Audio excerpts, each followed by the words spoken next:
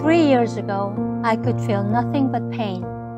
Now I feel the aroma of maple trees with autumn colors and how precious little things around me are. I was diagnosed for complete cure this morning and I looked at the report again and again since I couldn't believe it. A million emotions crossed my mind as all the past memories flashed before my eyes.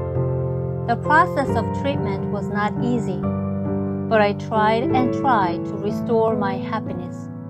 The day has finally come and tears spring to my eyes. I want to praise myself.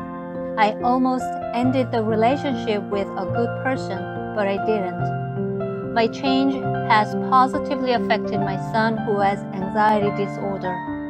I realize how important it is to protect the family for my son and daughter. All the things were possible thanks to taking the KIP treatment.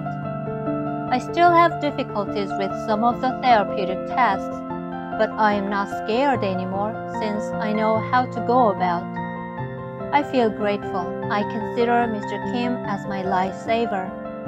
I would like to thank all the staff at KIP.